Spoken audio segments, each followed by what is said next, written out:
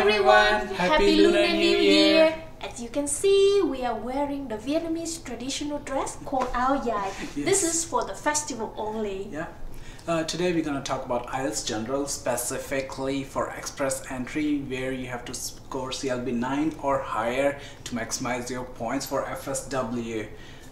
Yes, we will be sharing tips and tricks that we used during our IELTS self-study Right. and how we were able to achieve our target score. But don't forget we had to go for IELTS twice.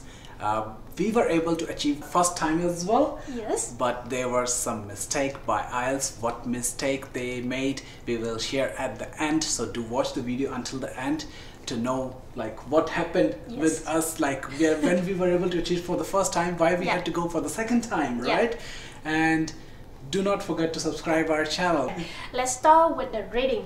Yes. So for me, I don't find any difficulty in reading. Like maybe I was lucky, so I get um, nine band straight in all my three efforts. Yeah. And it all comes to time management, how you can manage your time efficiently. For me, I apply skimming and scanning. So whenever I got a reading passage, first thing, I'm gonna just read through the passage, skim, to see, to understand the main idea. Then I'm gonna jump to questions, understand the questions. Then come back to the passage, scan, read it quick to find the correct answer. Remember, you don't need to understand the whole passage. Yes, exactly. True. And then get yourself um, familiar with specific types of question. For example, matching headlines, true, false, not given, or multiple choices. So when it comes to answer, do not overthink and do not spend too much time on one question. For example, you are stuck at question 15. Jump to 15, find the answer for 16, and you will know the answer for 15 somewhere above 16 Yeah, only. right. Yeah. So that for reading. Now let's um, get some tips and tricks from our speaking expert who got 8.5. Yes. Okay, so for speaking, I think the most important thing for speaking is your fluency, your vocabulary, your grammar, yeah. um, your pronunciation. Um, to do that, to achieve that thing, you need to practice every day. Uh, if you can practice with someone, it's really good. If Yeah. you cannot record yourself, watch the time, and you can listen to your speaking Yeah. later, and you can you can see where you're making mistakes. So you Yeah. can work. You can actually work on those mistakes. Mm, true. And also, as she mentioned in the beginning for reading, is like if you miss some question, you cannot find the answer, you can leave it and come back later. Mm. Yeah. But for speaking, you cannot do that. No. So when an examiner asks you something, you need to answer right away. In case if you don't know the answer, you can uh, take some time to think about it. By the time you can use fillers, Mm. say like if.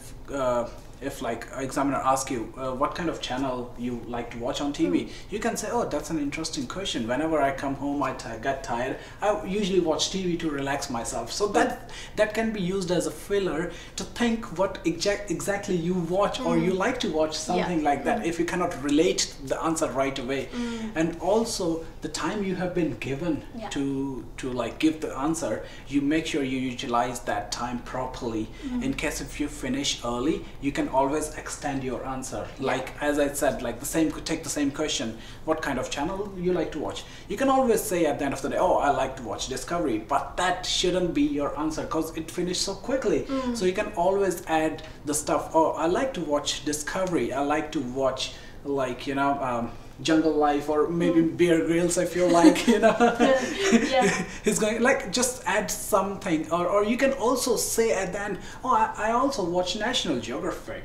You know, Mm, yeah. uh, I, I like to compare between Discovery and National Geographic. Like these things can be used to extend your answer. Yeah. You're staying between the boundaries of that question as well as you utilizing your that fillers Mm. or extension to maximize the time you have been given. Yes, that's correct. Okay, so that's it for speaking. Yes, we'll go to the next module. Writing. Okay, so for writing, I find it is the Okay, uh, let me add in the beginning. If your writing is like mine, when you write, you cannot even read yourself what you have written. Just go for computer-based test directly. okay. Yes, take advantage of that. I cannot even read his handwriting for your information. it's so bad. and also writing, I think is like the hardest part for me. Yes. I'm not sure for you, maybe. Yeah. So all come to time management as well. So how you manage your time to finish both of the tasks. So you know that that's one normally shorter, easier. Can spend maximum 20 minutes and then you can spend 40 minutes at least for task two, Right. which normally account for more points. Right. So what I normally do is before um, writing, I'm gonna plan my essay, my email accordingly. So I'm gonna identify the main issue in the topic, in the question, and then I'm gonna brainstorm main ideas, supporting ideas, and also organize my paragraphs accordingly. So how to do that um, quickly, efficiently? Get yourself used to each type of the question. For example, like for task one, emails, it's gonna be invitation, recommendations, or complaints. And for task two, for the essay, it will be like, can you discuss um, advantages and disadvantages? Do you agree or disagree? Can you discuss both views? Something like that. When you already understand, you know uh, the types of questions and get yourself used to it, you can do writing easily. Right. And the last thing for writing for me is actually is reading.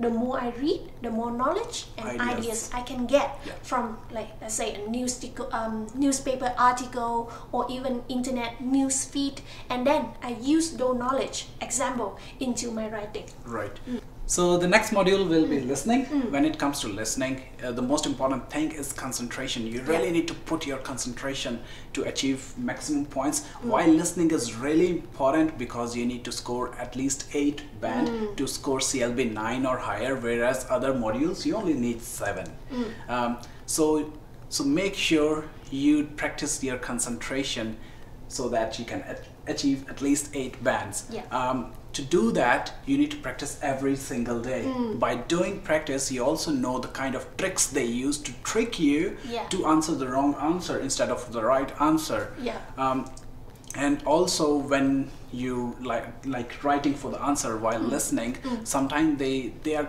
little quick and the answer is long so you make sure when when writing for the answer you write in a shortcut so that you can always come back later and finish your answer and also when they give you time in the beginning of the listening Mm. Yeah. you read through the questions properly Yes. you understand what kind of, what type of questions they're asking and you know what whatever the answer like you can guess the answer mm-hmm. already Yeah. um, and you can fo- put more focus towards the answer because that's that's the time when they're gonna trick you Yeah. and at the end make sure they give you time to check your answers you do check your answer because you can make a spelling mistake Yes. Um, because what happens for listening is like if the even if the spelling is wrong the answer is wrong so you cannot afford those hmm, mistakes true. and also you can finish those answers which you have write in shortcut and you can also check for your sing- uh, grammar mistake like singular or plural right Yes. Okay, so I want to add one thing. Yes, For please. listening and reading, you got 40 questions, 40 Yeah, answers. yeah. If you cannot um, get one answer, just guess it. yeah if you have missed Mm. any kind any answer you can always go back later when you have time you can guess the answer Mm. Yes.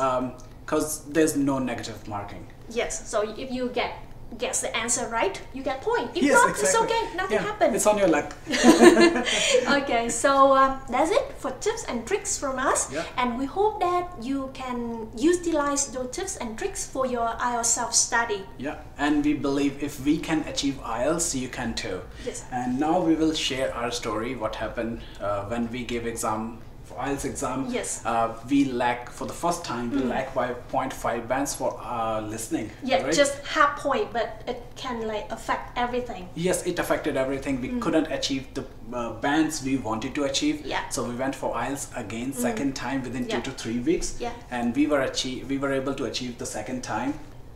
But after a year later, IELTS they came back to us saying, this Yeah. is so funny, saying that the marking was wrong For the uh, first For the time. Mm. first time, uh, we didn't really realize it's for listening because we uh, for listening what happens is like if our answer is wrong it's wrong Mm. if it's right if it's right so maybe we were thinking about writing or Something or else, yeah. writing or speaking Yeah. so we sent our uh, Test report, test yeah. report back they sent us the new one and we were able to achieve Yes, actually we got eight, in listening. yes and uh, this was so frustrating because we had to go for the second time. We spent money as well. We wasted three weeks.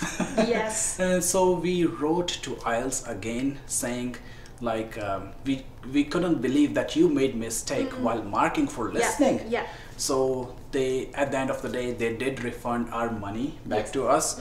So why we sharing this story is to motivate you. If you feel like your test was good even even if it's reading or listening make sure you go for evaluation Yes. if you don't want to go for the test again like us you can go for evaluation and you never know they have made mistake in your case too Yeah, can be. and and yes IELTS they do make mistake Okay. I think like like humans, we make mistakes. Yes, So I yes, also. mm, yeah Okay. and I think this is it from us today uh, shall we go celebrate now Yes, we will be celebrating the Lunar New Year soon. and so we wish you luck as well to start studying for IELTS if you want to. This is Lunar New Year. Uh, you got a second chance within the year to start something new. okay, yes. So okay, see you See guys ya. in Yeah, next see ya. Bye. Take care.